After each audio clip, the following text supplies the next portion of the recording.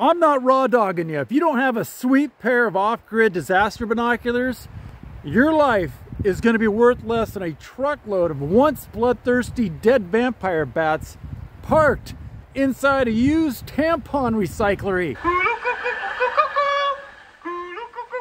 Welcome to Optica Erotica. Yes, here at Off Grid and Whiskey, here at the Sasquatch Ranch that you know and love. Um, this is episode two. And the first episode, which I'll try to link, and if I don't, you could lick a sack. The first episode, there's going to be 10 total, was edge to edge clarity. And so now I want to talk a little bit. It's Disco Fancy, this title. It's, um, what's it called?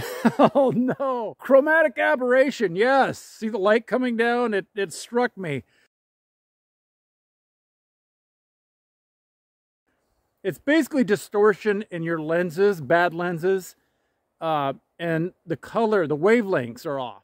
What I'm going to use is my subpar Minox 15 by 56 binoculars against the top drawer, best ones on the planet, Swarovski 15 by 56 SLC HD. Yeah.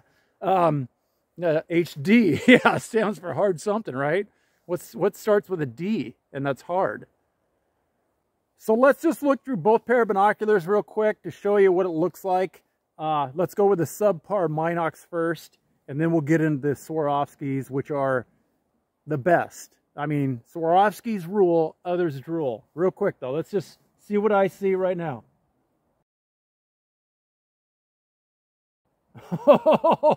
what? Are you tossing my salad? Look at that.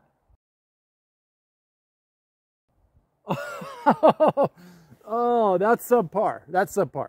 Now let's see something completely rock star. Watch this.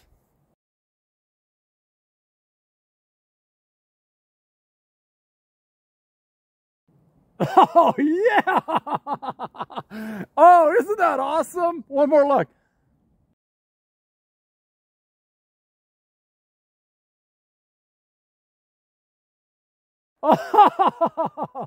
I mean, why am I laughing? It just the difference is amazing.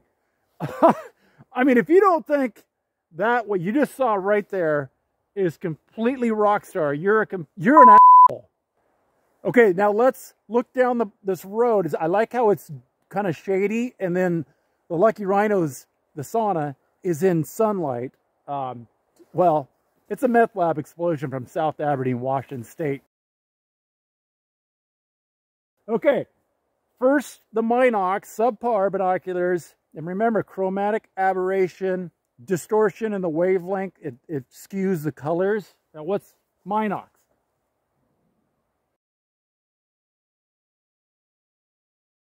Oh, no. Oh, that's horrid. Let's look again before the Swaros. Here we go. Oh, my eyes, they burn. Oh, just like 1992 after the Cancun foam bit party. Oh, don't even look. Okay, let's bring in the professionals right now. We need redemption.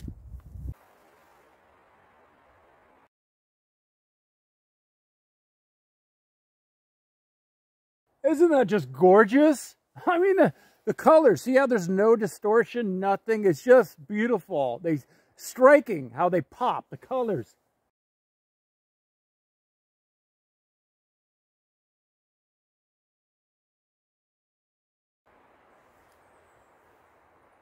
Boy, that looks good.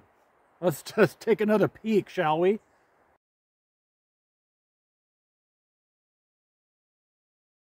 Oh, yes, I come here for the strudel. Yeah, it's true, it's true.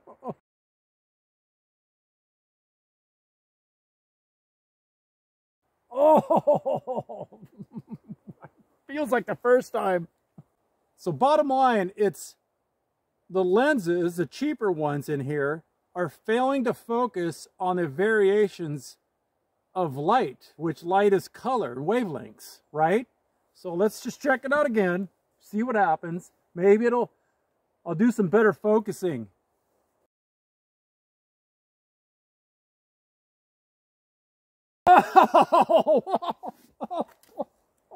what? oh!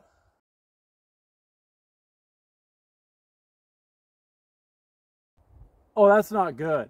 That is not good at all.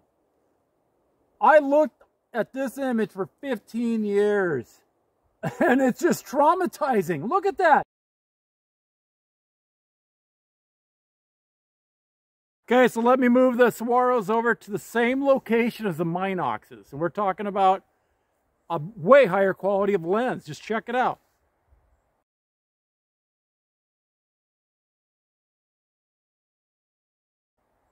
Oh, yeah. That is gorgeous.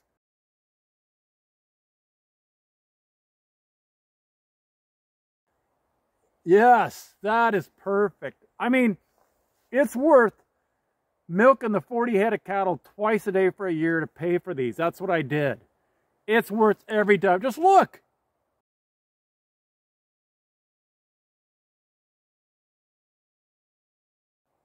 Oh, does it get any better? Hang on, let's see.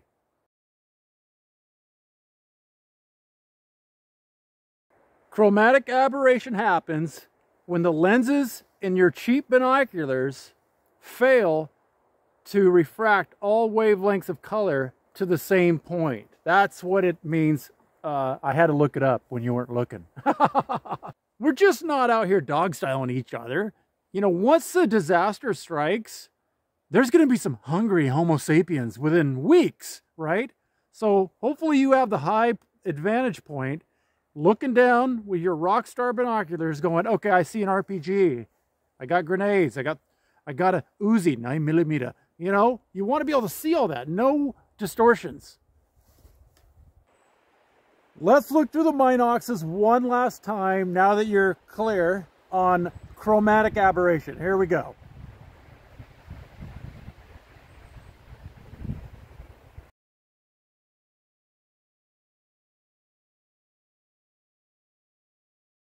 Oh!